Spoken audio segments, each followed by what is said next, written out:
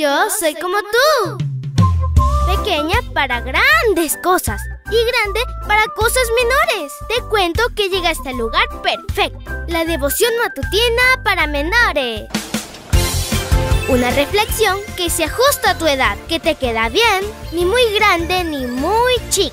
Adelante y bienvenido a nuestro mundo.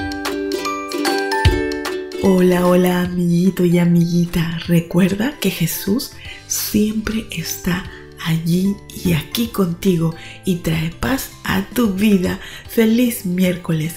Te saluda tu amiga Linda. Y el versículo para hoy se encuentra en Levítico 11:44. Búscalo en tu Biblia y lo lees junto conmigo. Dice así, yo soy el Señor su Dios. Ustedes deben purificarse completamente y ser santos, porque yo soy santo. Y la historia se titula Para vivir mejor. Dios le interesa cada aspecto de nuestra vida, aún nuestra alimentación. Afortunadamente nuestro Padre Celestial anticipó hace muchos siglos asuntos relacionados con la salud que apenas hoy se promueven. Los israelitas recibieron leyes específicas en cuanto a cómo alimentarse con el único propósito de que se distinguieran por ser saludables. También somos santos delante de Dios cuando acatamos las normas de alimentación de Levítico 11. Asimismo, hay una unión entre la salud física y nuestra capacidad de discernir entre el bien y el mal, así como sensibilidad para entender la voluntad de Dios para nuestra vida. Si gozas de salud, vas a tener fuerza física y moral. Esto resultará en alegría y disposición para servir a Dios. La razón primordial para que el pueblo se abstuviera de comer ciertos animales consistía en que ellos habían sido libertados por Dios de la esclavitud. Por lo tanto, le pertenecían, pues Él los sacó de Egipto. Este sería el impulso primordial para obedecerlo.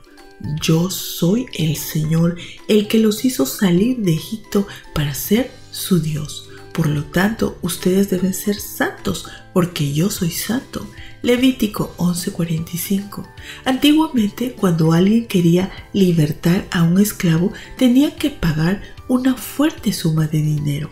De manera semejante, Dios nos recuerda que nos ha comprado mediante el sacrificio de su Hijo en la cruz.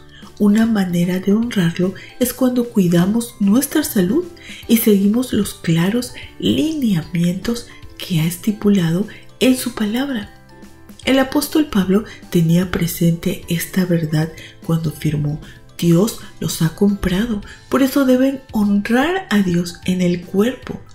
Aceptar esta verdad implica que no necesitamos esperar a que las autoridades sanitarias de los países obliguen a las empresas a colocar un etiquetado claro en sus productos para saber que si comer o beber. Tampoco dependemos que un médico nos indique las graves consecuencias de consumir algunas carnes como el cerdo o como el camarón. Igualmente, no son los fatales estadísticas de muertes por el consumo de alcohol, tabaco y drogas las que nos convencen de no consumir estas sustancias por el simple hecho de que Dios lo afirmó siglos antes de que la ciencia lo afirmara, es suficiente para creer y obedecer este asunto tan crucial.